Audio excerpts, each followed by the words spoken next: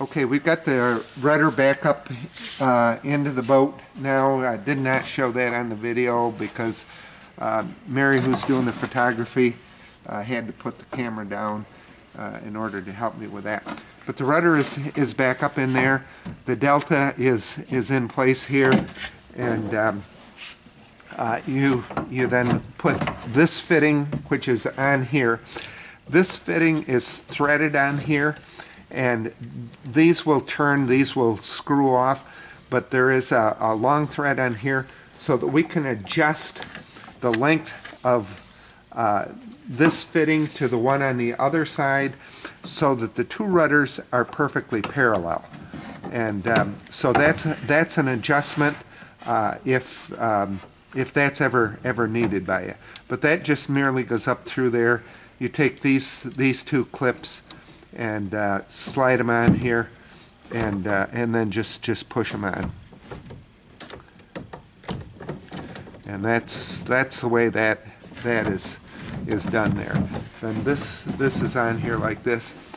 Um, you have to make sure that these rudders, when you put them up through, are in line with the boat.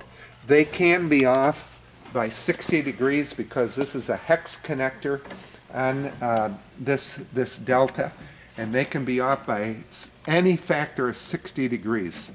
Um, uh, 60, 120, or or 180 degrees. The rudder could be uh, all the way around so that it's, it's absolutely backwards on there, and you don't want that to happen. Now, you have seen these rudder deltas, these are injection molded deltas, and we've had these for years, but they are a little bit susceptible to breakage if they're in hard use. And we've had another delta, here's another delta that we have made. This is an, this is a replacement for this delta, and it's used in extreme conditions. It is expensive because it is machined out of a solid block of, of plastic. So this is a far more expensive um, part than this one. But if you're having problems with these, this one failing, we can sell you one of these. And that's, um, that's the, the, the steering system in the Encore boat that we showed you here today.